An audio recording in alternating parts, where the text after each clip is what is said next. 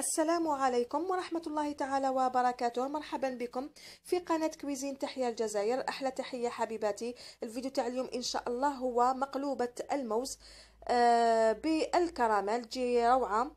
ها هو شكلها. إذا كان عجبكم الفيديو حبيباتي ما تبخلوش عليا بالاشتراك في القناة مع الضغط على الجرس ليصلكم الجديد. لتحضيرها نبداو بسم الله على بركة الله. عندي المقادير التالية. عندي ثلاث بيضات. عندي كمية من السكر البني حوالي 3 ملاعق مع قطعة من لا مارغرين. هادو نحتاجوهم على جنب. آه نحتاج بالنسبة للعجينة إلى كاس ماشي معمر سكر بني نصف كاس ياغورت بذوق الموز نصف كاس من الزيت فانيليا وفارينه أو طحين. حسب الحاجة ونحتاج إلى آه، آه، كيس ونصف من الخميرة الكيميائية وحوالي زوج حبات إلى ثلاثة موزات يعني على حسب حجمهم. وهذه هي المقادير. إذا نبداو بسم الله في وعاء تاع الخلاط. حطيت ثلاث بيضات. أنا البيض ديالي عنده حجم صغير. إلا كان البيض تاعكم كبير ديروا زوج حبات. نخلطهم مع رشة فانيليا. حوالي ملعقة صغيرة مملوءة. بمجرد ما تشكل عندي فقاعات في البيض نضيف آه، الكاس ماشي معمر تاع السكر البني. بالنسبة للسكر البني إلا كان ماشي متوفر عندكم تقدروا تعوضوه بالسكر العادي. نخلط حتى يتضاعف الخليط ويصبح لونه فاتح. نضيف عليه نص كاس تاع الزيت مع الخلط المستمر.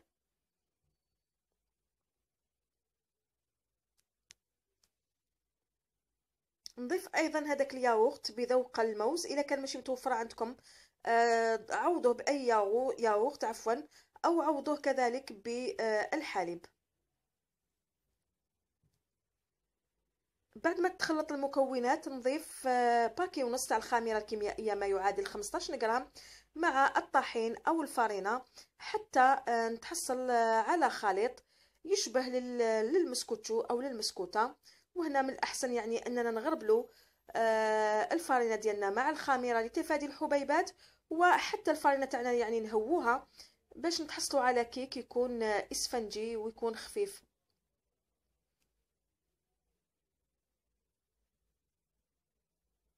إذا نكمل نخلط مع إضافة الفارينة حتى نتحصل على هذا القوام بهذا الشكل. هذا هو. إذا نخلي هذا الخليط الآن على جنب. ونروح نحضروا الصينية تاعنا اللي حنطيبوا فيها. هاد الكيكة. آه نحط حوالي 3 ملاعق كبيرة من السكر البني.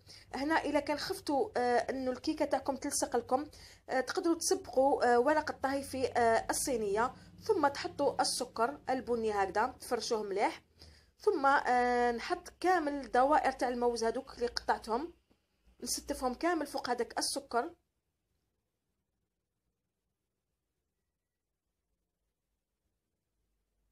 ثم ناخذ قطعة هذيك تاع الزبدة أو لا مارغارين ونقطعها هكذا إلى قطع صغيرة ونحاول نحطها آه، بين هذوك الفراغات الموجودين آه، في الموز. هكذا لما الموز ديالنا يدخل الفرن راح يتكرمل.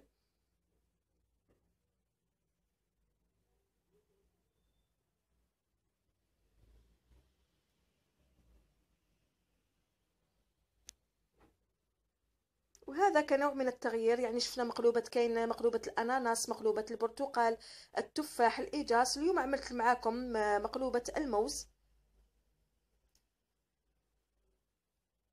كنوع من التغيير.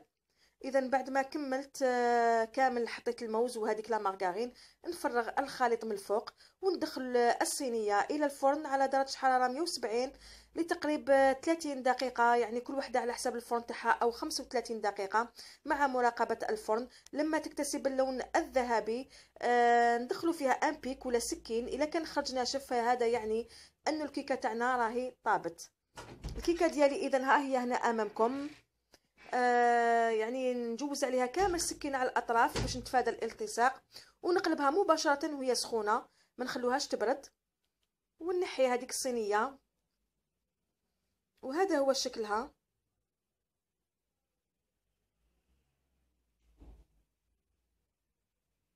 بالنسبة للتزيين آه، يعني كل وحدة على حسب الشيء اللي متوفر وعلى حسب ذوقكم. آه، أنا يعني آه، فضلت أني نزينها بشرائح من اللوز المنسل les amandes effilées هكا كامل على الأطراف. وضفت عليها آه، هكذا رشات من آه، صوص الكراميل.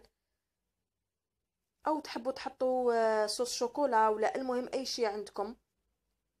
وأصبحت هكذا الكيكة ديالنا جاهزة.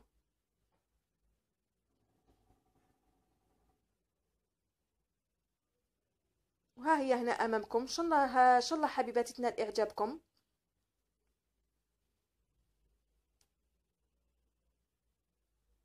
راح نقسم لكم تشوفوا كيفاش تجي لداخل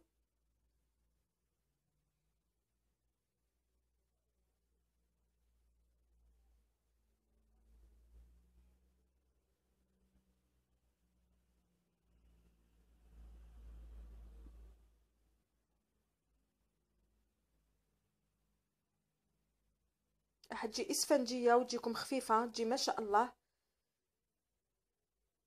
ها هي هنا أمامكم حبيباتي. إن شاء الله الفيديو تاع اليوم يكون نال إعجابكم. إذا كان عجبكم الفيديو ما تبخلوش عليا بالاشتراك في القناة مع الضغط على الجرس ليصلكم الجديد. ادعموني باللايكات وبالتعليقات. من أجل استمرارية القناة والمزيد من الوصفات يا أحلى وأروع مشتركات. دمتم في رعاية الله وحفظه وإلى اللقاء في فيديو آخر بإذن الله. والسلام عليكم ورحمة الله تعالى وبركاته.